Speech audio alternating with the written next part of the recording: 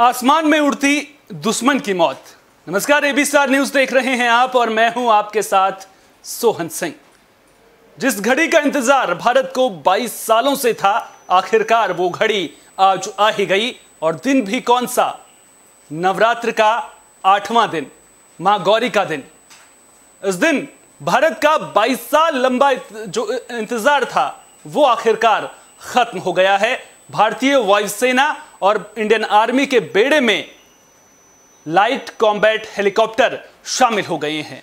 आखिर इन light combat helicopters का इंडियन आर्मी और वायुसेना के बेड़े में शामिल होने का महत्व तो कितना बड़ा है, ये आप थोड़ी देर में विस्तार से समझ सकेंगे जब हम आपको एक एक करके पूरी जानकारी इन लाइट कॉम्बैट हेलीकॉप्टर्स के बारे में देंगे।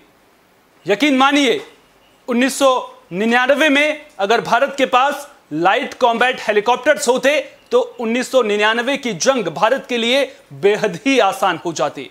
उस वक्त इन विमानों की जो कमी है, इन लड़ाकू हेलीकॉप्टर्स की जो कमी है, वो भारतीय सेना को महसूस हुई थी और उसके बाद शुरू हुआ था इन लाइट कॉम्बैट हेलीकॉप्टर्स को बनाने का काम। 1999 में भारत और पाकिस्तान के बीच में करगिल का युद्ध चल रहा था।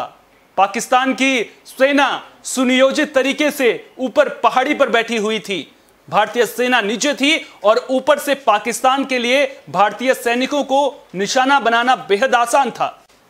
उस वक्त भारतीय सेना के पास लाइट कॉम्बैट हेलीकॉप्टर नहीं थे। अगर उस वक्त भारतीय सेना के पास ये लाइट कॉम्बैट हेलीकॉप्टर्स होते तो फिर जो ऊँची पहाड़ी पर पाकिस्तानी सेना के बंकर थे, उन्हें भारत आसानी से नेस्त नाबूद कर सकता था। लिहाजा इस पर काम करना उसके बाद शुरू हुआ और धीरे धीरे इनका निर्माण का जो प्रोसीजर है ट्रायल्स हैं, वो एक के बाद एक पहले फ़ेज़ का ट्रायल उसके बाद दूसरे मॉडल का ट्रायल तीसरे मॉडल का ट्रायल चौथे मॉडल का ट्रायल जो ट्रायल है, वो पूरा हुआ।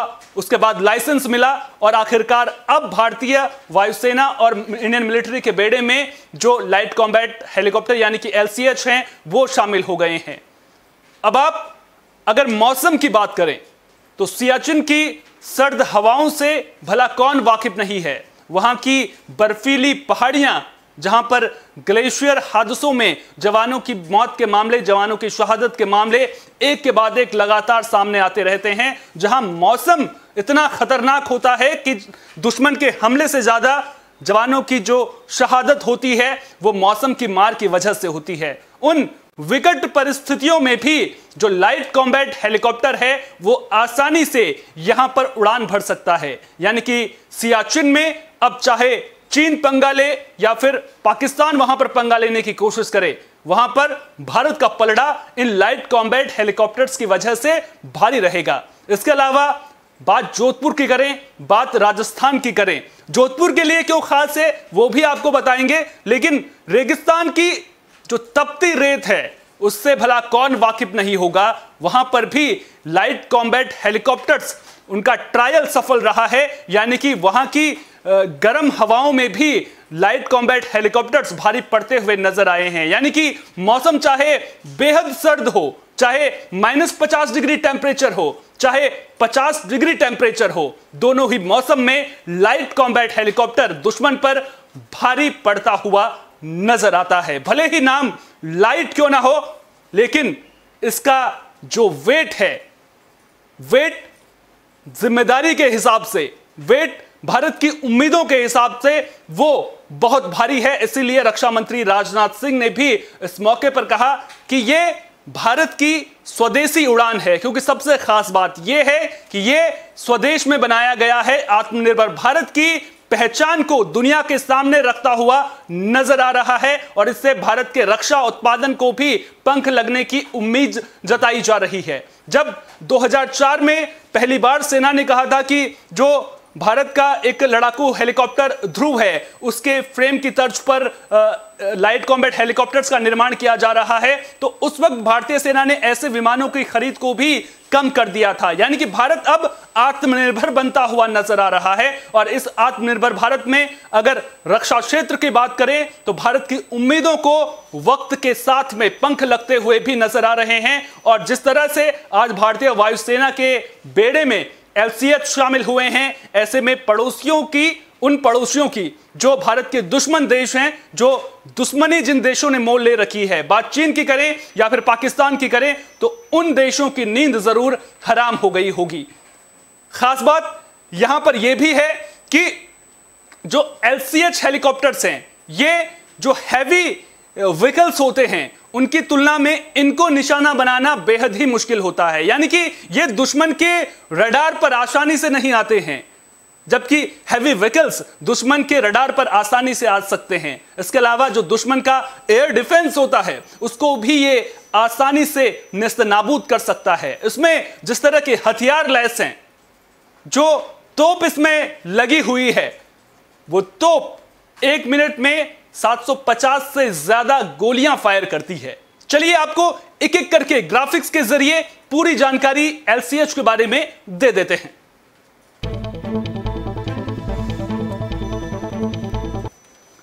तो स्वदेशी डिज़ाइन और एडवांस तकनीक से लैश एलसीएच भारत की ताकत को बढ़ाते हुए नज़र आ रहे हैं। भारत की ताकत बढ़ती हुई नज़र आ रही है और तस्वीरों में भी आप देख सकते हैं, ये तस्वीरें जोधपुर की, जब रक्षा मंत्री राजनाथ सिंह वहाँ पर मौजूद थे। किसी भी मौसम में उड़ान भरने में एलसीएफ सक्षम है, यानी कि परिस्थितियाँ कैसी भी हों, कितनी भी विकट क्यों ना हो, ये आसानी से उड़ान भर सकते हैं। आसमान से दुश्मन पर आसानी से निगरानी रखी जा सकेगी। अब यहाँ पर बात आती है घुसपैठ की। जब पाकिस्तान बॉर्डर पार से घुसपैठ करता है। ड्रोन के ज़रिए हथियारों की खेप भेजी जाती है तो ऐसे में एलसीएच बेहद अहम हो जाता है। आसमान से आसानी से इन हेलीकॉप्टर्स पर निगरानी रखी जा सकती है। घुसपैठ की कोशिशों को आसानी से नाकाम किया जा सकता है। फॉरवर्ड इंफ्रारेड सर्च सीसीडी कैमरे से ये लेस है, यानी कि इसका जो मुख्य काम होता है, जैसे कि घुसपैठ को रोकने में मदद करना और घुसपैठ अगर दुश्मन करना चाहता है तो उसे मुंहतोड़ जवाब देना। Thermal vision laser range finder से लेस है। यानी कि रात के जो ऑपरेशन हैं, उनमें थर्मल विजन से या लेजर रेंज फाइंडर से आसानी से मदद मिलती हुई नज़र आएगी। रात के ऑपरेशन जो मैं बात कह रहा था, वो करने में सक्षम है। सर्जिकल स्ट्राइक जैसे हमले करने में भी ज़्यादा मददगार होते हैं।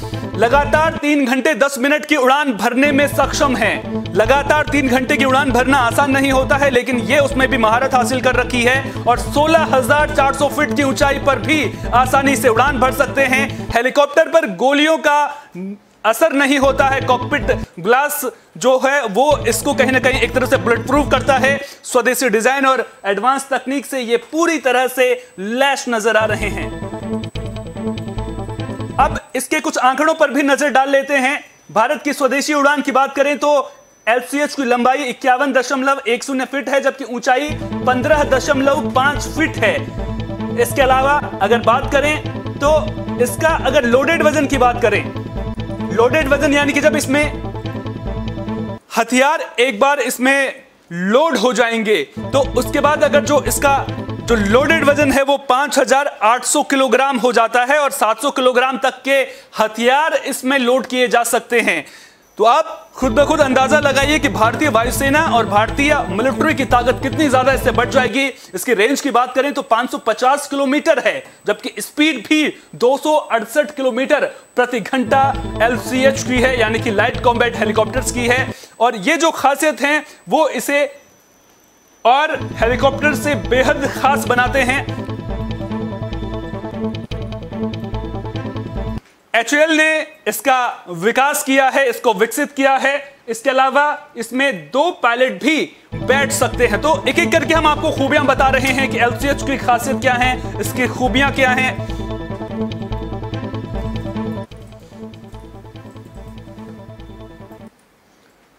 कहीं ना कहीं हिंद की ताकत अब एलसीएच के शामिल होने के बाद बढ़ गई है। एलसीएच उड़ान भरेगा और दुश्मन के मन में डर बैठना लाजमी है। कैबिनेट कमेटी ऑन सिक्योरिटी, जो प्रधानमंत्री जिसकी अध्यक्षता करते हैं, उसने 15 एलसीएच खरीदने की अनुमति दी थी।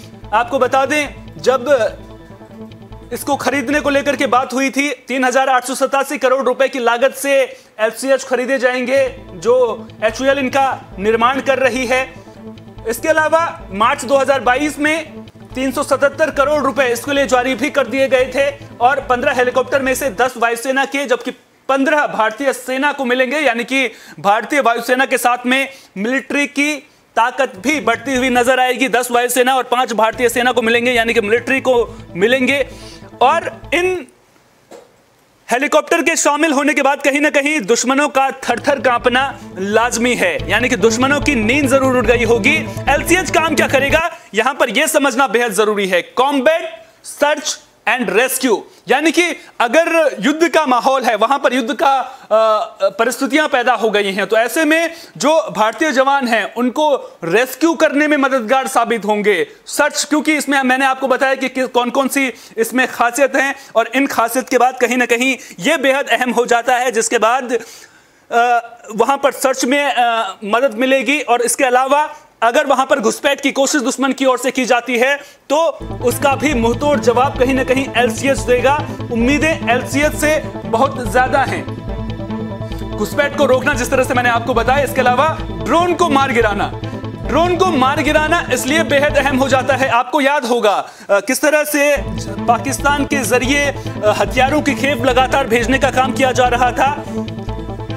पाकिस्तान के ज़रिए लगातार हथियारों की खेप भेजने का काम किया जा रहा था और उन हथियारों को कई बार पंजाब के कई जिलों में भी देखा गया था और कई बार बीएसएफ की ओर से फायरिंग करने के बाद वो ड्रोन अपनी सीमा में भाग जाते थे। यानी कि पाकिस्तान बॉर्डर में वापस दाखिल हो जाते थे, जिसके बाद वहाँ पर ऑपरेशन करना भारत के लिए आसान नहीं होता है, क्योंकि इंटरनेशनल बॉर्डर्स का वहाँ पर मामला आ जाता है। एलसीएच एडवांस में, यानी कि पहले ही अलर्ट कर देगा। उसके अलावा ड्रोन को भी आसानी से मार गिराएगा, यानी कि दुश्मन देशों की जो नापाक साजिशें भारत के खिलाफ चल रही हैं, उनका दुश्मन देशों को मुंहतोड़ जवाब मिलेगा। हर आतंकी गतिविधि पर कड़ा प्रहार होगा। जो हथियार इसमें मौजूद हैं, उन हथियारों के बारे में भी बता देते हैं। वो हथियार जो एलसीएच की मारक क्षमता को बढ़ाने का काम करेंगे। एक एक करके बारीकी से उन हथियारों के बारे में भी आपको बता देते हैं। कॉकपिट के नीचे M six two one cannon यानी कि आपको अगला हिस्सा नज़र आ रहा होगा तस्वीर में। उसके नीचे आपको छोटी सी एक तोप लगी हुई नज़र आ रही होगी। ये कॉकपिट के नीचे M six two one cannon है। 20 मिलीमीटर ऑटोमेटिक ये कैनन है, यानी कि तेज़ी से गोलियाँ ये बरसाती है। इसके अलावा आपको बता दें कि इसका निर्माण फ्रांसीसी कंपनी नेक्स्टर ने किया है, यानी कि M sixty one, six two one को नेक्स्टर ने बनाया है, जो एक फ्रांसीसी कंपनी है। और अगर गोलियों की बात करें तो हर मिनट 800 गोलियाँ फायर होती हैं। 750 से 800 गोलियाँ कॉकपिट के नीचे M six two one cannon से फायर की जाती हैं, यानी कि दुश्मन का बचना बेहद मुश्किल हो जाएगा। हथियार ऐसे हैं और इससे मिसाइल को भी छोड़ा जा सकता है। इसके अलावा अगर विंग्स के नीचे आप नज़र डालेंगे तो लेजर गाइडेड रॉकेट वहाँ पर है, जिसकी रेंज एक दशमलव पाँच से आठ किलोमीटर तक है। हवाई और जमीनी हमले करने में यह सक्षम है। लेजर गाइडेड रॉकेट उसके नीचे हवा से हवा में मार करने वाली मिसाइल भी इसमें लैस की जा सकेगी। क्लस्टर बम अनगाइडेड बम और ग्रेनेड लॉन्चर भी लगाए जा सकते हैं। तीन तरह के बम यानी कि लगाए जा सकते हैं। और भविष्य में ध्रुवास्त्र मिसाइल को लगाने की भी तैयारी इसमें की जा रही है और यानी कि अब धीरे धीरे इसको अपग्रेड भी किया जाता रहेगा और जैसे जैसे ये एलसीएच अपग्रेड होंगे वैसे वैसे दुश्मन के लिए इनसे पार पाना मुश्किल होता जाएगा, यानी कि इनका सामना करना बेहद मुश्किल होता हुआ नज़र आएगा।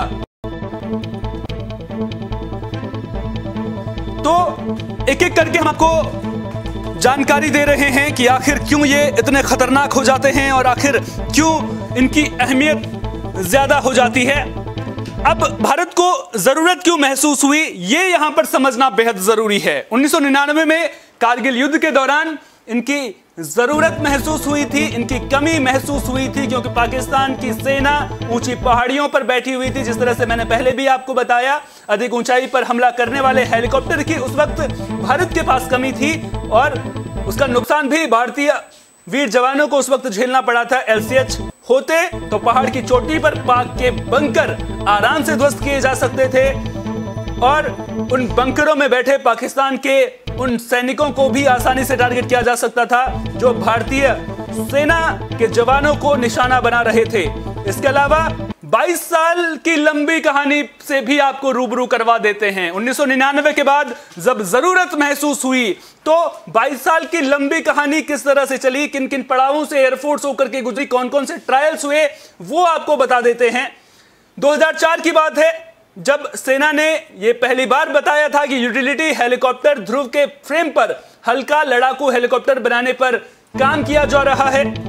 साल 2004 की यह बात है। सेना ने पहली बार इसका ज़िक्र किया था। उसके बाद 2006 में एचएल ने हल्का लड़ाकू विमान बनाने की घोषणा कर दी थी। 2006 में केंद्र ने सीमित कर दी थी विदेश से हेलीकॉप्टर की खरीद। उन हेलीकॉप्टर की जो एलसीएच की तर्ज पर विदेशों से भारत इंपोर्ट करता था 2006 में उन पर रोक लगा दी गई थी। पूरी तरह से रोक नहीं लगाई गई थी, लेकिन सीमित उनकी खरीद को कर दिया गया था। फिर 2008 में एलसीएच के मॉडल की सफल उड़ान देखने को मिली थी। यानी कि टेस्टिंग का दौर शुरू हो चुका था और तीसरी टेस्ट फ़्लाइट भी इस दौरान सक्सेस रही थी।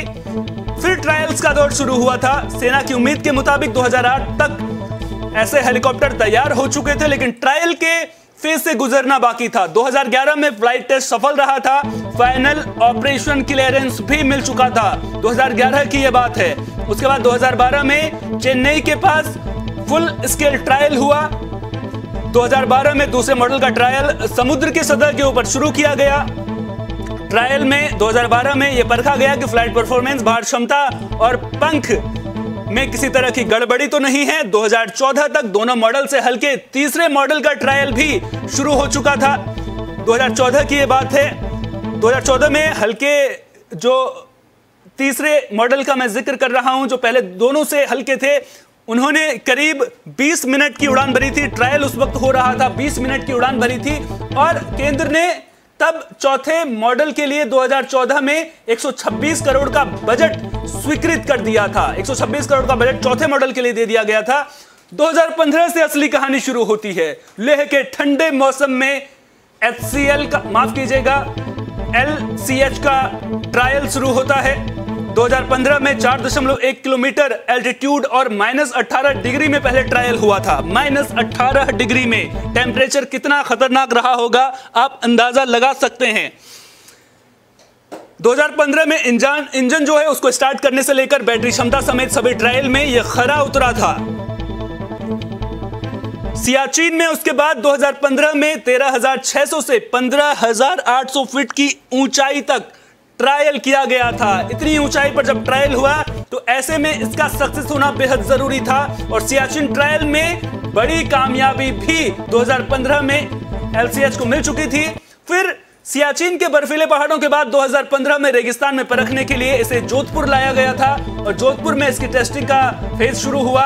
यहाँ पर high temperature hydraulic pressure weapon system समेत सभी ट्रायल जो हैं, वो इसने पास कर लिए थे, सभी ट्रायल सफल रहे थे।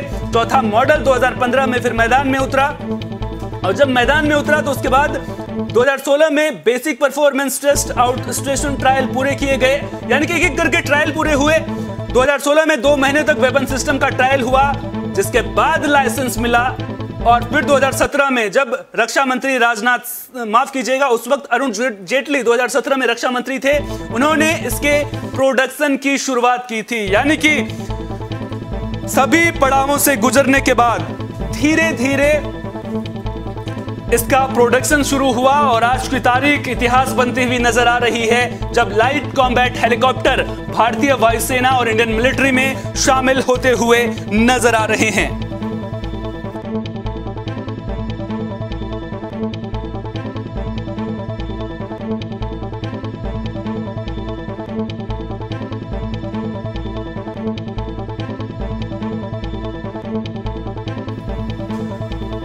देश को पहला स्वदेशी लाइट कॉम्बैट हेलीकॉप्टर मिल गया है। खास बात यह है कि भारतीय वायुसेना के पहले स्वदेशी अटैक हेलीकॉप्टर एलसीएच को सीमा के करीब जोधपुर में तैनात किया गया, जाएगा सोमवार को। यानी कि आज रक्षा मंत्री राजनाथ सिंह की मौजूदगी में लाइट कॉम्बैट हेलीकॉप्टर को वायुसेना में औपचारिक रूप से शामिल कर लिया गया है और इसको नाम दिया गया है प्रचंड। यानी कि एलसीएच के प्रचंड प्रहार से एलसीएच के प्रचंड वार से दुश्मन पानी भी नहीं मांग पाएगा। इस तरह की स्थिति बनती हुई नज़र आएगी। इस मौके पर रक्षा मंत्री राजनाथ सिंह ने क्या कहा? वो तस्वीरें भी हम आपको एक एक करके दिखा रहे हैं। स्क्रीन पर आप उन तस्वीरों को भी देख सकते हैं और इसकी खासियत पर भी नज़र डाल सकते हैं। वो तस्वीरें वहाँ पर पूजा भी की गई थी। और इस दौरान जिस तरह से एलसीएच वायुसेना में शामिल हुआ है तो इसे एक बड़ी सौगात से कम नहीं माना जाएगा। रक्षा मंत्री राजनाथ सिंह ने इस मौके पर कहा कि एलसीएच दुश्मनों को चकमा देते हुए विभिन्न प्रकार के गोला बारूद को कैरी करने और शीघ्रता से यथास्थान पर पहुँचने में सक्षम है। ये एलसीएच विभिन्न इलाकों में हमारी आर्म्ड फोर्स की जरूरतों को पूरा करने के लिए पूरी तरह से खरा उतरता है। ऐसे में एलसीएच हमारी सेना और एयरफोर्स दोनों के लिए एक आदर्श मंच है। उन्होंने कहा कि एलसीएच का डिज़ाइन और डेवलपमेंट आधुनिक युद्ध क्षेत्र की जरूरतों के अनुरूप किया गया है। अपने विकास के चरण में, अनेक प्रकार की टेस्टिंग में इसने तमाम चुनौतियों से निपटने में अपनी योग्यता दिखाई है। साथ ही, साल 1999 में कारगिल युद्ध, जिसका ज़िक्र मैं लगातार कर रहा था, उसका ज़िक्र करते हुए भी राजनाथ सिंह नज़र आए।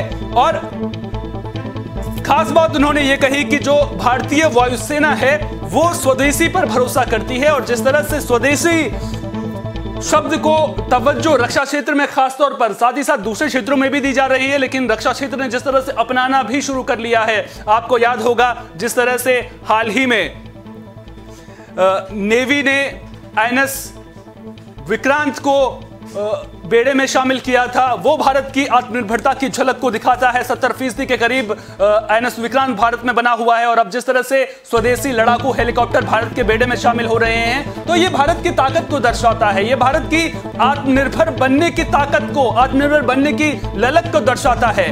भारत भारत, वो भारत जिसने एक नारा दिया है, made in India, made for world, make for world. यानी कि भारत में बनाया जाएगा, पूरी दुनिया के लिए बनाया जाएगा, जो नारा भारत की ओर से लगातार दिया जाता है, उस नारे पर अब भारत खड़ा होता हुआ नज़र आ रहा है। सक्षम भारत, श्रेष्ठ भारत का जो सपना भारत का हर आम नागरिक देखता है, जिसका ज़िक्र अक्सर प्रधानमंत्री नरेंद्र मोदी के भाषणों में देखने को मिलता है। दो तक भारत को विकसित देशों की लिस्ट में शामिल करने का जो सपना प्रधानमंत्री नरेंद्र मोदी समेत तमाम भारतीयों ने देखा है, उस सपने को साकार करने की दिशा में रक्षा क्षेत्र में लगातार काम हो रहे हैं। दूसरे क्षेत्रों में वो तेज़ी कब देखने को मिलेगी, ये भी देखने वाली बात होगी।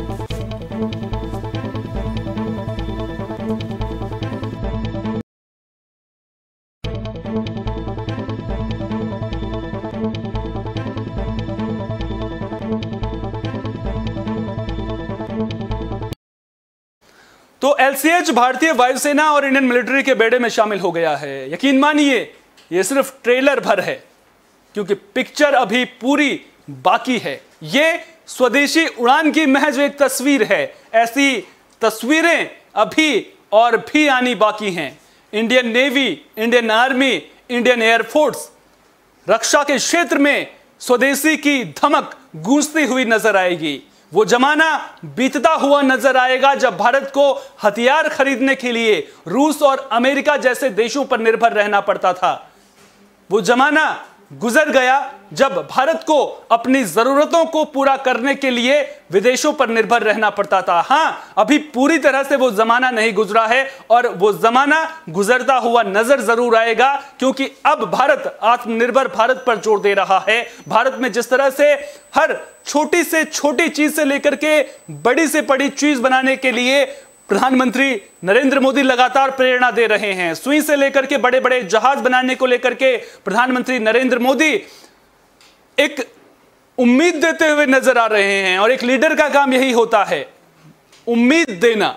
क्योंकि उम्मीद पर दुनिया कायम है और भारत भी इस उम्मीद के साथ में लगातार आगे बढ़ रहा है कि एक दिन ऐसा भी आएगा जब भारत में बने हवाई जहाज़, लड़ाकू विमान दूसरे देश खरीदते हुए नज़र आएँगे। अभी भी कई देश भारत से हथियार खरीदते हैं, लेकिन बड़े बड़े देश जब ऐसा करेंगे, तब आत्मनिर्भर भारत का सपना सही मायनों में साकार हो सकेगा, क्योंकि अभी तो शुरुआत भर है और अभी इस शुरुआत को बड़े पैमाने तक पहुंचाना बेहद ज़रूरी ज़रूरी है। बड़े बड़े आयामों को छूना बेहद ज़रूरी है। उम्मीद करेंगे कि जो आत्मनिर्भर भारत की तस्वीर धीरे धीरे और भी स्पष्ट होती हुई नज़र आ रही है, आने वाले दिनों में वो इसी तरह से और भी साफ़ होती हुई नज़र आएगी और एक दिन आत्मनिर्भरता के मामले में भारत दुनिया के तमाम देशों से आगे खड़ा नज़र आएगा और दुनिया के तमाम देश अपनी जरूरतों के लिए भारत पर निर्भर होते हुए नज़र आएँगे। हालाँकि इस दिशा में अभी भी बहुत काम करने की ज़रूरत है और सिर्फ़ बात रक्षा क्षेत्र की ही नहीं, दूसरे तमाम क्षेत्र हो, चाहे बात उत्पादन की हो, चाहे फ़सलों के उत्पादन से लेकर के स्किल डेवलपमेंट की बात हो, उन क्षेत्रों पर काम करना बेहद ज़रूरी है। सरकार की ओर से तमाम योजनाएँ भी चलाई जा रही हैं। ज़रूरत आम नागरिकों को भी समझने की है।